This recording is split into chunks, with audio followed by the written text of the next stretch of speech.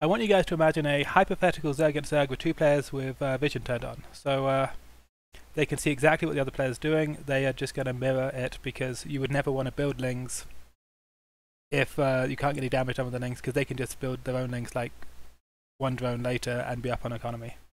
You would never get any damage done doing that. So Zerg against Zerg is pretty worked out. There's uh, the optimal unit comp is mutas, uh, the optimal gas timing is known, so Zerg and Zerg is a very worked out matchup. If you had perfect vision, you would just play the matchup perfectly.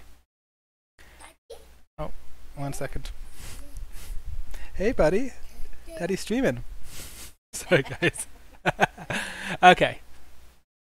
So uh, they're going to mirror the builds perfectly. The only uh, difference would be that like some of the players, one of the players would be better than the other. They would have uh, better micro and they'd win a Scourge Mutalisk fight, they'd have better macro, they'd hit their overlord timings, they'd build their drones on time.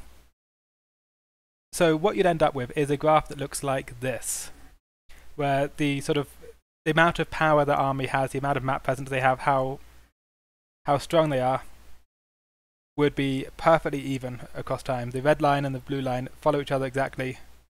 It's a complete mirror, right? So, that's the introduction to the uh, concept we're going to try and explain is that uh, this game that we're talking about here would be decided purely by skill. The builds are completely identical. There's no difference between what the players are doing. They have perfect information. The player with the better macro and micro would pull ahead just by that. So what we've invented here is the uh, real-time clicking things genre of games. Not a real-time strategy game. There's no strategy involved. The strategy has been solved. It's been fully optimized. It's just real-time clicking things. Uh, the optimal unit comp is known, the uh, constraint is going to be the gas, that's known, the build order that optimizes the gas is known. So it's just whoever's better at clicking wins the game. No strategy involved because the strategy has been solved. Uh, that is not how Brood War works. It is not played with perfect information. It is a strategy game, not a clicking game.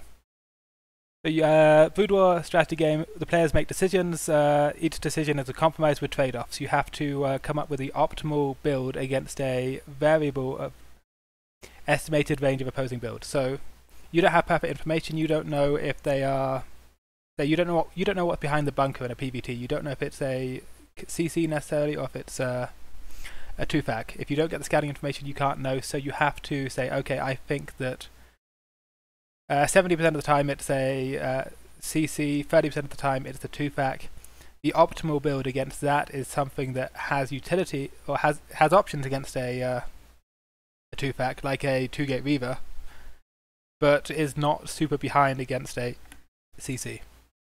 So you're trying to come up with a, a build that is the highest expected value against the probability weighted range of builds they can be on.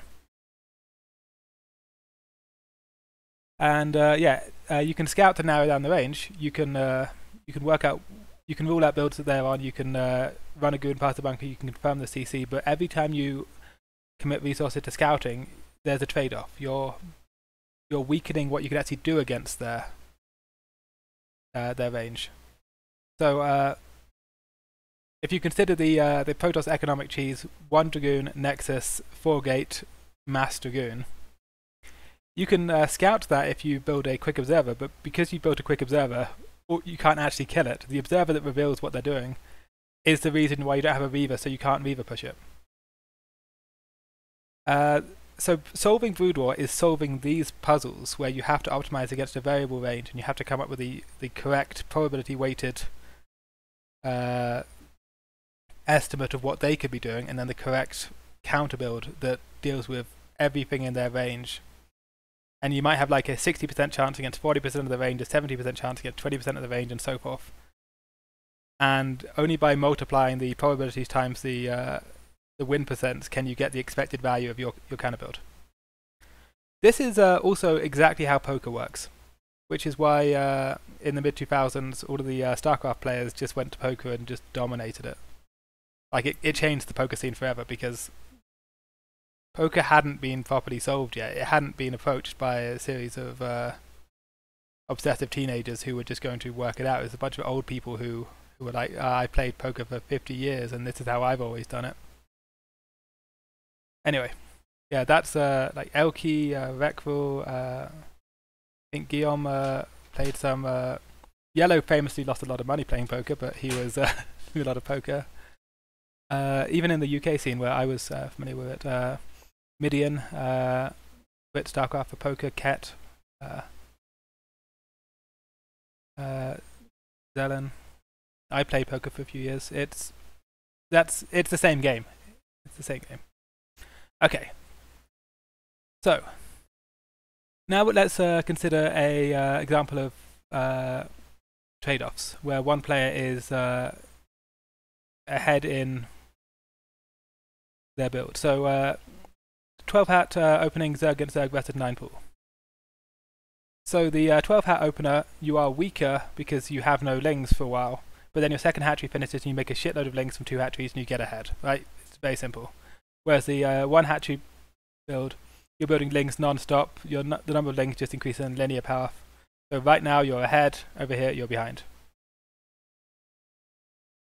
What this means is that uh, the uh, the nine pool player is ahead only if he attacks. If he doesn't attack, he loses the game. But if he attacks right now, he wins the game. The second hatchery, uh, it, it, exposes you to timings over here, but it also wins you the game over here. So there's a trade-off. There's a vulnerability, but there's a payoff.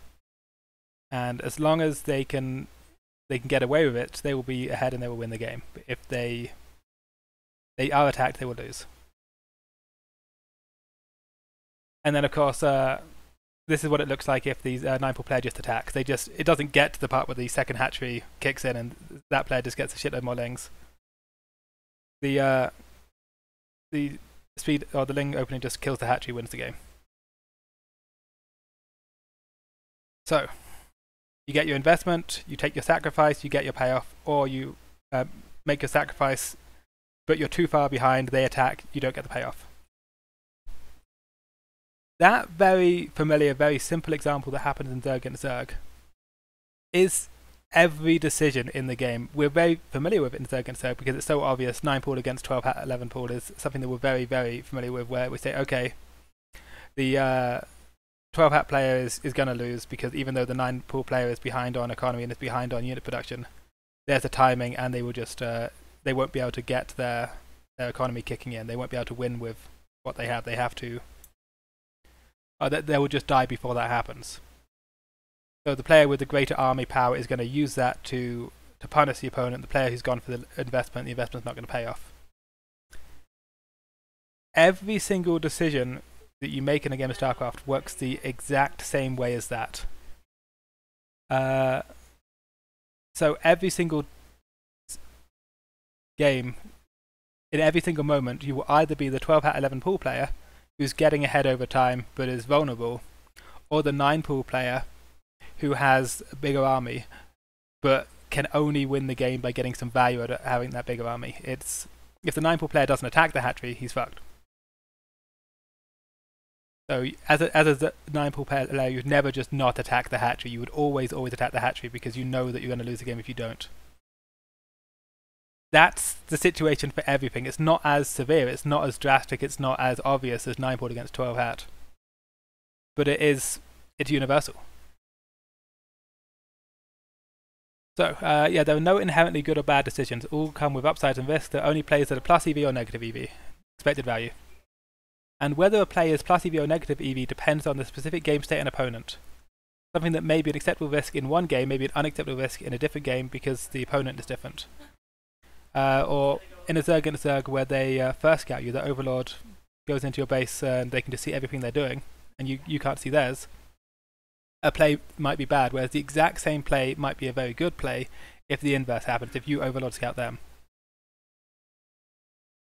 Uh, my suggestion that uh, there are no inherently good or bad decisions. I mean, there are some decisions that are obviously going to be negative EV almost all the time. I'm not saying that let's do whatever you like; it doesn't matter at all do plus EV plays, there are some plays that are just so irrational they would always, always be negative EV. But it's not because they're inherently bad plays, it's because there's always going to be better plays. There's always going to be a better way of getting to the same point. Okay. So, if we assume that strategy is entirely neutral, if both players are are playing a strategy that is identical, like the uh, the two Zergs with perfect information in the first example, where they just do mirror builds, they both build mutas. then uh, the player who has uh, superior macro and micro and whatever will slowly get ahead and they will say, ah yes, this is what the game looked like, even though we were doing the exact same things, there were no curves in this line. I slowly gained an advantage because I was just doing it better. I'm the better player, I deserve to win the game. So players who think about this, the game without thinking about strategy at all, they're thinking purely about execution.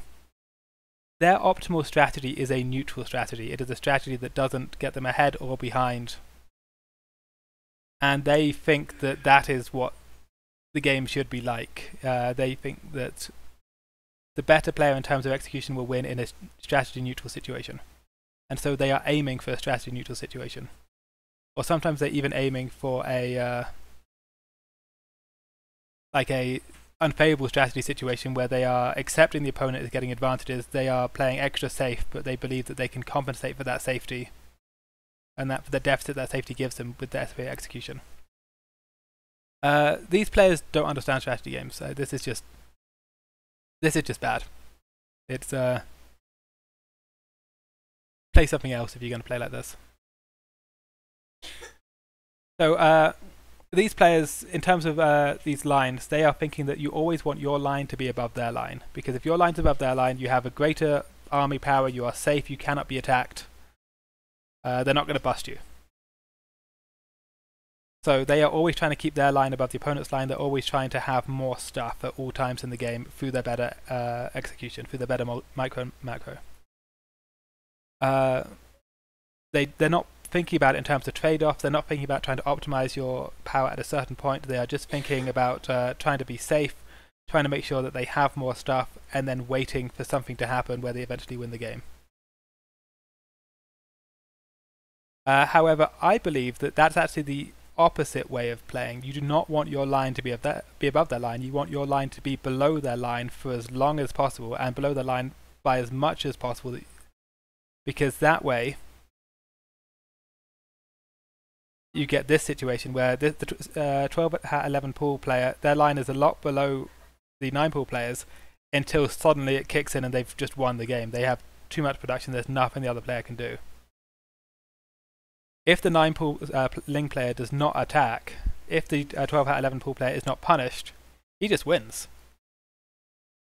So having your line above their line means that you have not made as much investment as you should have. It means you are playing too safe. It means that you are not getting the yields in terms of tech and uh, economy that you should be getting. You want your line to actually be below their line. That is where you're aiming for. Not necessarily a long way below their line, but enough. Enough that you're always paying off. So, uh, yeah, if you can uh, do this, if you can have your line be below their line because you're making investments in tech or uh, economy or whatever, and then you just overtake them and you win. Because the blue player, even though he, his line's above, even though he has more power, he's not attacking he is the red player is not getting punished for this. The blue player is has a bigger army, but the bigger army staying home.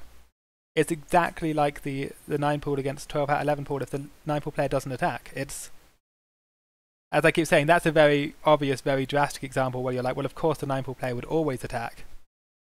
But every game has a nine pool player in it. Every game there's one player who is ahead on army, behind on economy, behind on tech, and is not uh, getting compensated for that it's only worth having your line be above theirs if you are being compensated. If you're not being compensated, you've just done it badly. You've just played it wrong.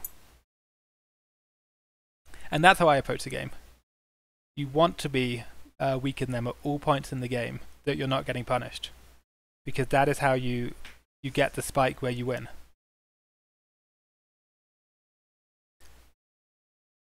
yeah, here red is ahead, but uh, he's getting no value out of it, which means he's actually behind. Over here, uh, blue suddenly overtakes red because uh, blue wasn't punished, but then blue does nothing with that advantage. Blue doesn't uh, punish red at all, so red just takes a hidden expansion, comes straight back into it, and so forth. If you're playing like this, these players are making mistakes. Every time their line is above, they are making mistakes. They should be doing punishing, they should be constraining the opponent, and they're just not doing it. Yeah, anytime your power line rises above that opponent, you should be asking, what value am I getting from this stronger army? What is the... Uh, what am I getting out of this? Am I uh, attacking the opponent? Am I uh, like constraining their build in any, any way? Because if you're not, you're you're just you're like the nine pool player who doesn't attack. Obviously, in a nine pool versus a twelve hat game, it's very obvious who is who. The nine pool player knows that he has the stronger army. He is ahead in army power right now, and he has to attack, or the inverse is going to happen. And the 12 hat player knows the same. The 12 hat player knows he has to defend, he has to hold on to his economy, and he has to hold on to his unit production facilities so that he can recover it. So everybody in a 9 pool versus uh, 12 hat knows the, the role they're playing. They know who they are, they know what they have to do. It's much harder to identify who you are and what you have to do in in other scenarios, but the other scenarios are still the exact same concept. One of you is a 9 pool player, one of you is a 12 hat 11 pool player. You need to work out which one you are and what to do about that information. Uh, you don't necessarily need to attack to constrain the builder opponent. An attack is like a classic example of it because you you physically destroy their expansion, you deny them the benefit of their expansion. So like going over there, killing their units, killing their buildings, obviously that's getting damage. But making them not build an expansion is just as good as killing an expansion. It's still it's still denying them the resources. Or uh, if you delay the purposes of their build, if they're going for a uh, a build that has a specific timing on it, like a four fac uh, no academy, uh, no armory TVP, and you build a DT, then even if your DT doesn't kill them, it's uh, very much damaged their build because of all of the sacrifice they've made to to hit that timing. They're getting no compensation for that. They built all these units, they've delayed their plus one attack, they have no armory, and a single DT just denied their entire build. So that's damage. Uh, there's many, many different kinds of damage. Uh, Similarly, by showing your potential, you can uh, do damage, like a uh, TVZ where you move out with your bio early in the game to force them to build sunken colonies. It doesn't matter if you never had the intention to attack the Zerg. It doesn't matter if you never even had the ability to attack the Zerg. You force them to make an adjustment, and uh, that's damage. Other thing I want to note is that the last thing you want to do uh, when you force them to make an adjustment is to actually justify that adjustment, to give it value. So PVZ, you've got four early. Uh, I was watching KwarK's. Oh, we're getting raided. Nice. I was like, holy shit, this guy knows so much more than me. Thank you, Barnif. That's very kind. And uh, Azi Dahaki, thank you for the raid. Okay, so very common PVZ situation. Uh, you're getting your plus one, you're getting your speed, but you don't have them yet. You move out with four slow zealots. Uh, you do this because if the Zerg doesn't build any Zerglings, you can go do some damage, but they will always build Zerglings because they're always going to see it with an Overlord. Those Zerglings have a very limited uh, window for where they have value. Once plus one speed lots are done, the uh, Zerglings are like they're very low value because the Zealots will just massacre them. So they're only valuable in the context of being able to deny the four speed lots or four slow Zealots damage. If you send the four zealots across the map and the zerglings fight them and the zerglings kill them, those zerglings were a good decision by the zerg. There was a risk, the zerglings dealt with the risk, the zerglings killed the thing. Great job. If the four zealots turn around and go home, those zerglings were a waste of money. So the damage is that uh, you've denied the opponent uh, the value that they were looking for out of the decision they were making. They they sacrificed to get those Zerglings. The Zerglings came at compromise. They slowed down the fourth hatchery. They were drones that weren't built. But uh, if they kill Zealots, then great. It was necessary. It's worthwhile. It was a good decision. Early on today, I was watching. Oh, another raid. And I was like, "Holy shit! This guy knows so much more than me." So yeah, we are. Uh, we actually have control over whether their plays were good or bad. If you send the four zealots, then their uh, Zergling play was a good play. It was necessary, it got value. If you don't send the Zealots, it was a mistake. You can control, you can decide whether their plays are mistakes. So, uh, yeah, make as many of the mistakes as possible. Okay, so how to do this? Uh, first thing you need to do is scout. You need to scout constantly, you need to scout meaningfully. That's why I do 25 Robo Observer Rush PVT, because my PVT is built around getting an observer into the base around 6 minutes 20. I do a very, very flexible opener. I go, I go for the two base up, so it's extremely flexible. Uh, I have normally like three gateways, but the gateways aren't producing units. I have a probe at a third base, but the probe at the third base hasn't placed a nexus. Once the observer gets in, I can go in any direction I like. I can uh, go into storm. I don't need to go arbiter. I can go into third base and fourth base. I can build a shitload of units out my gateways. But I'm waiting until I have that scouting information, and I'm building. I'm using a build that is very, very flexible. And PvP, you uh, you should be using the Dragoon early game to go uh, check their natural, because Dragoons can't really die to anything. Uh, you should be looking for their range timing. You should be checking their valley, because sometimes uh, they'll just, if they go two gate and you haven't seen the second gate, you go near their valley and you see there's an extra Dragoon, and you think, okay, the only way there could be an extra Dragoon is if they had a second gate, right? Or PVZ, uh, you got a probe inside their base early, you're looking at the gas and you're saying, okay, a 230 gas after a uh, 1211 is uh, well, 230 gas over an overpool is gas before third hat. A 250 gas is third hat then gas, like that kind of thing. It's uh, you gotta you gotta scout constantly. You gotta scout meaningfully. Once you've scouted, you need to update the the uh, weighted probability range that you are putting them on. Uh, you are maintaining a uh, mental picture of the different builds they could be on and how likely you think each one is. So, uh, let's say you have no scouting information at all in a uh, Zerg against Zerg, sorry, Zerg, uh, against Zerg. And you just say, okay, 50% of the time it's going to be free hat Hydra, 50% of the time it's going to be uh, uh, free hat Lair, Spire, six hat Hydra. Like the mo two most common builds. So you have to come up with a build that's good against both of those which is hard to do. You would much rather know which is more likely. You would much rather have some kind of way of narrowing that down. Uh, and there's things that you can do that will tell you. It doesn't necessarily tell you exactly what they're doing, but uh, in a PvP, if they place their second pylon near the ramp, and that's all you see, you can still think, okay, I'm going to switch it from being like 50% robo, 50% DT to 70% robo, 30% DT because a pylon near the ramp, that normally implies that he's trying to do some kind of slow reaver expand.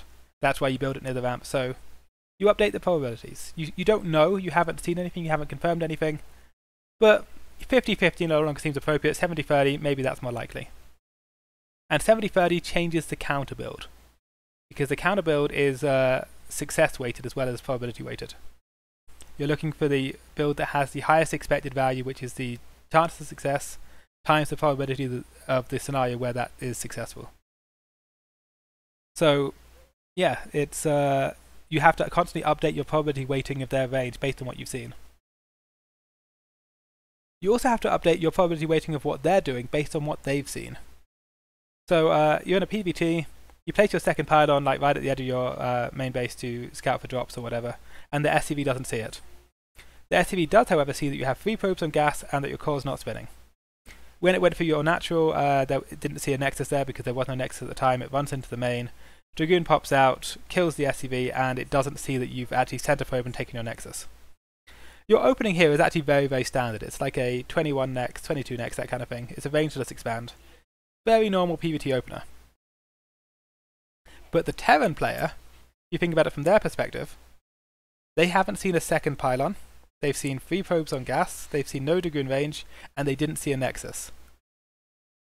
They're thinking Proxy DTs. Right? They're thinking some kind of weird Proxy Robo Reaver Rush play. So, with that in mind, they are not as likely to do a free tank push, because a free tank push is not going to have a good time against a Proxy DT. So, when you think, okay, we've confirmed that they've gotten like a factory expand. There's a bunker there. What's their follow up going to be? Are they going to go one factory armory, or are they going to go two factory then armory? Are they going to go double machine shop into the free tank push? Where are their mines going to go? Are their mines going to be out on the map denying expansions, or are their mines going to be next to their bunker trying to play defensively against the DT? You can probably take a third Nexus more quickly because of what they've seen. Because the odds of being punished have gone down.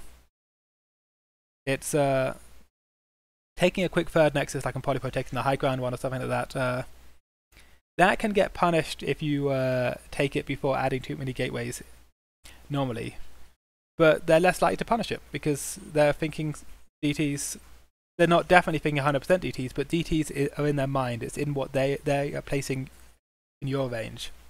The probability of DTs has gone up, and so the probability of free tank push has gone down, which means that your optimal build has shifted. The EV of going for a uh, quick third base has has gone up because the probability of being punished has gone down. And then of course there's the I know that they know that I know that they know rabbit hole, where uh, you scout something that is a uh, that has a hard counter. So you scout. Uh, uh, let's think of a Let's say you scout a free hat Hydra uh, build. You see them place the uh, Hydra den with your probe. So uh, they think you're going to count hy counter Hydras. And so, because they think that uh, you think uh, they're going Hydras, they might not actually go Hydras because they think that uh, that you know that they're going Hydras, so they're going to not go Hydras because obviously you're going to counter Hydras, so Hydras aren't going to work.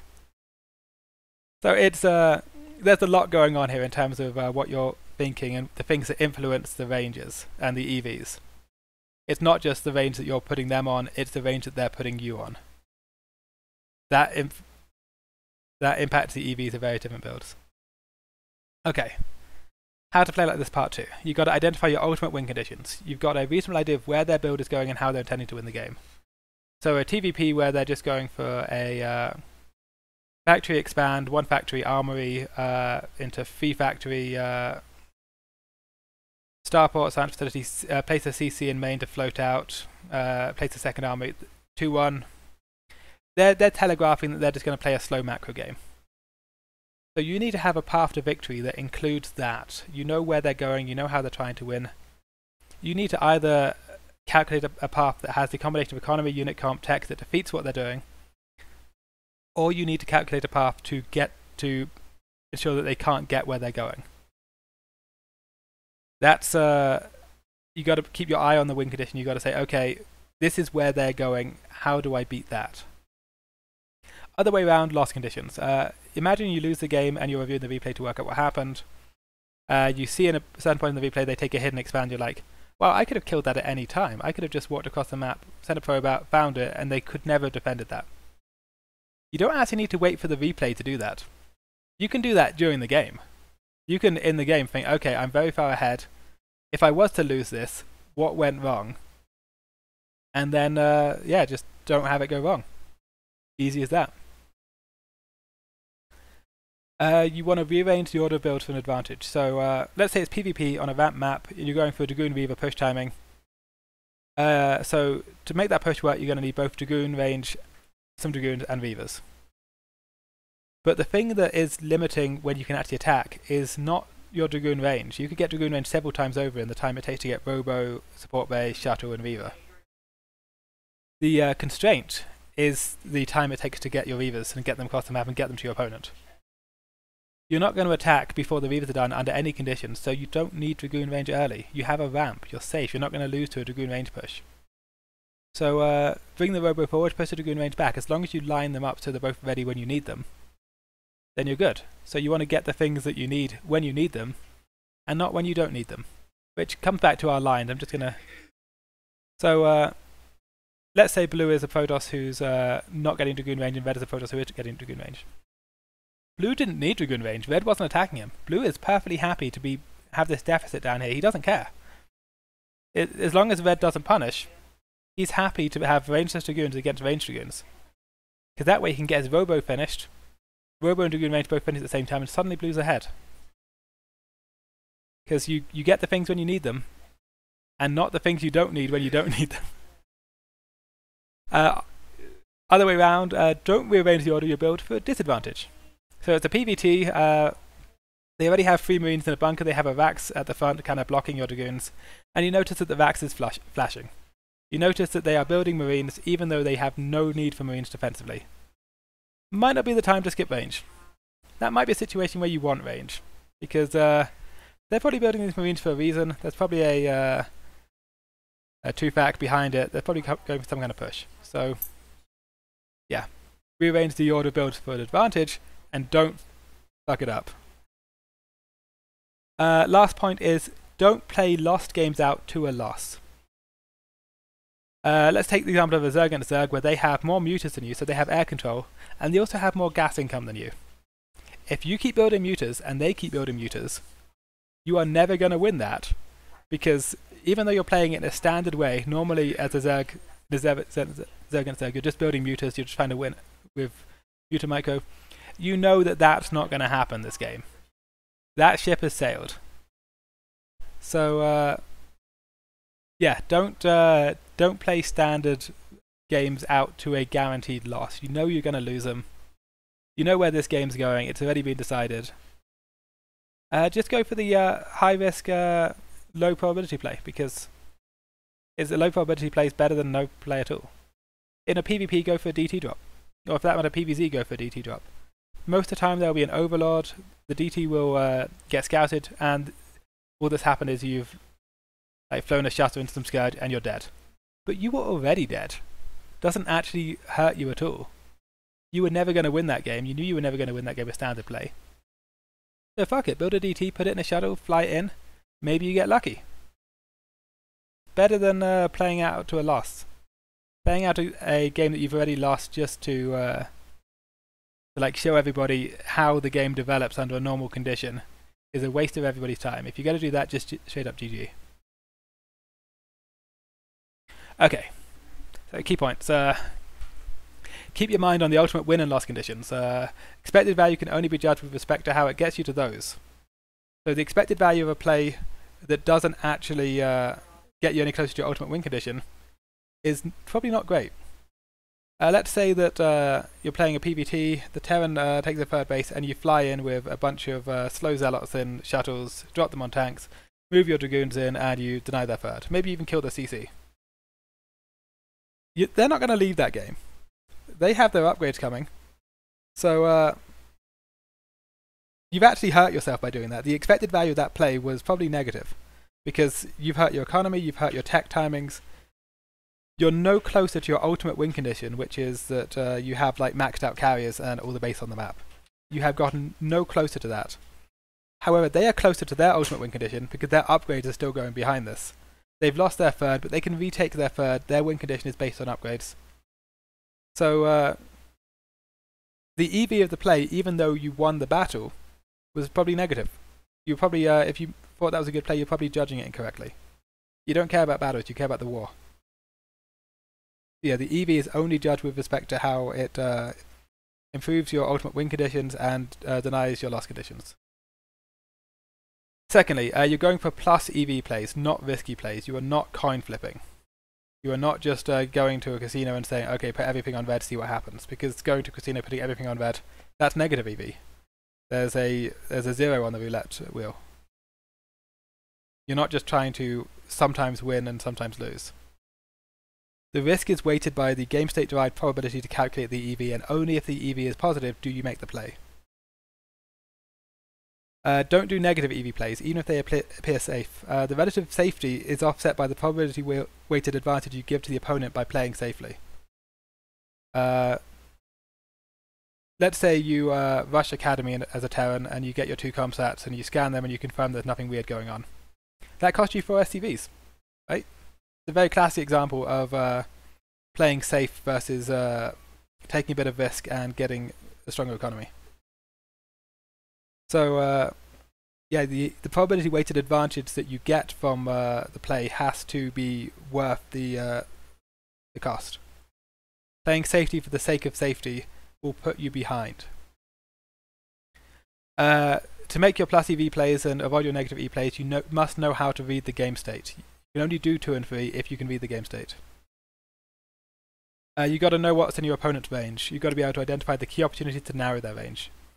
So uh, you got to know when to scout, what to look for, and what your scouting information means.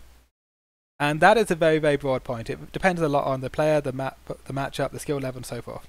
So if you scout there three SCVs uh, on gas in, early in a TVP, it might mean it's a two fact, might mean you're playing a D rank Terran. Could be either. Uh, similarly, if you're like pressuring a bunker with ranged dragoons and no tank shows up, maybe they've uh, delayed their tank so they can use their gas to get a quick starport. Maybe they just supply blocked on 44 out of 44 and their tank is going to show up later. It's uh, and again, it could be either. But you have to be uh, like knowing what to look for, knowing to scout with your dragoon in a PvP, go up to their natural, see if you can take a look. Because if you can see their natural, you can uh, you can see there's no nexus there, then uh, you can narrow their range. You can rule out quick nexus. If you look at their natural and you see there's a pylon there, suddenly it's a lot more likely they're doing a DT expand with cannons because the pylon need to be placed there for that. Uh, you got to know what your range of builds uh, that you can your range of counter builds are and how each performs against everything in their range. You've got to know that uh, uh, if you open, as I like to open, uh, like 25 Robo PVT, and then if I haven't confirmed a CC, going to three gateways by 30, I need to know how that plays against a two-fac, and also how it plays if they did have a CC. The impact of cutting the probes against a CC versus the impact of uh, having three gateways kick in uh, at that point against a two-fac. Yeah, you have to know all of the different things in your range of options and also their probabilities so that you can ca calculate the EV. So you can calculate whether you're ahead and be or behind, what the win chance is with everything in your range against everything in their range, so you can work out which is the optimal one. You also got to know what your opponent knows about your range. You've got to place yourself in their shoes and calculate what the opt what their optimal option against your range is, or against the range they have assigned to you. So uh, that's the uh, point I made earlier. The uh, the Terran who uh, doesn't see range, doesn't see a second pylon, is thinking that it's DTs. You place yourself in their shoes and you think they probably aren't going to do a uh, free tank push because a free tank push isn't a very high win rate against the range that they think you're on. And so you recalculate uh, the probabilities in their range, and then you recalculate the EV of your the different builds in your range against those new probabilities based on what you think the opponent's doing. And what you think the opponent's doing is a lot about what they think you're doing. The opponents generally are doing the thing that makes sense, but you have to know what makes sense based on what they've seen. Okay, and we're going to close with this, which I just thought was funny. this player on the left is uh, obsessed with mechanics. Like, well, I was uh, strategy shouldn't be a factor. I was I was tapping the same piece over and over and over and over and over. I was doing lots and lots of actions. Yes, the actual moves I was making weren't correct, but you know, there was a lot of activity going on. I'm happy. Player on the right is like, buddy, you haven't learned a fucking thing. You keep losing the exact same way over and over and over. What's going on? so yeah, uh, I just thought it was funny. And that is your lesson. Any questions?